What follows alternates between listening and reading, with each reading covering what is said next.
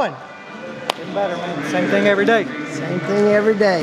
So guys that are wrestling tomorrow, come in, get what they need. It's more probably really mental than anything. Stay in their routine. Obviously, got to get some weight off sweat. And other guys, man, get better really working on beating high thigh. It's a really problem position. Um, so we're spending some time in there. One, how we can teach it better too. But kind of having them focusing on key points, uh, using leg on extended, getting the guy to his hip, and then turning hip down, almost like parterre defense. Beating that position with them focused on regular leg ride defense a bunch, and then head position on the feet. So you see those three areas kind of key focus for a lot of the guys that are competing tomorrow, spend time in. So this time of year, you guys are in your in your conference dual season. Training wise, do, do things change from week to week, or from from kind of that individual competition season into your into your dual conference season? Not a whole lot, really. I mean, Doug will start tapering some, but mainly it goes by feeling the room and what guys need. It's pretty consistent, man. It really doesn't matter what time of year it is. Obviously, if you got a competition close, you'll pull back a little bit, but and when we go, we go pretty hard.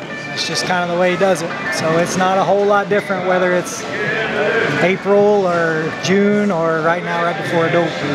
Big test this week. Consistent. Big test this weekend. You're moving out of West Gym and, and, and going going to a bigger arena. Um, obviously, that don't make. Doug actually talked about that at the beginning of practice, and actually, a, a guest speaker today talked about that as well. Like, what what what gets you excited? Obviously, to get these guys to compete against that team. Like, but, but like taking away like Sunday, sitting down after the duel and, and kind of taking away from it. Uh, what, what, are, what are some kind of key benchmarks you're looking for next couple days? Um, really consistency. Uh, probably the times I've seen guys perform the worst is when they make it something extra. And occasionally you see a guy not get up enough, right? Like they sleep past a dude or a man, somebody catches up with them or a guy they don't know. And most of the time it's when guys get too amped up. So I really look for consistency. Guys not changing just because it's Oklahoma State. You don't change anything compared to wrestling Missouri, right? You don't wrestle the singlet. It's just another time to go compete with somebody else.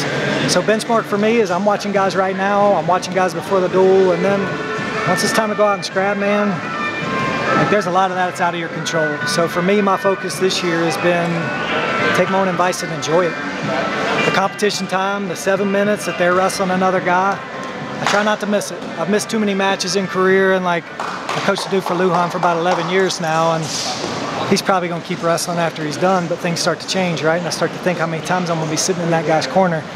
I've missed too many of those experiences in the past, just making it another day. And man, really just going out and trying to enjoy it. And these guys go get to compete at this level and the work they put in win or lose, man, I love wrestling, so I gotta love it all. I know if we lose, I'll learn from it. And If we win, man, that's awesome. But I've been, uh, I've been around you for a minute. Yeah. And it's a pretty similar dynamic with me. I've calmed down a little bit, but you're always back behind the athletes during the duel, relaxing. Doug's tap dancing, standing on his head. Like, how do you not get wow?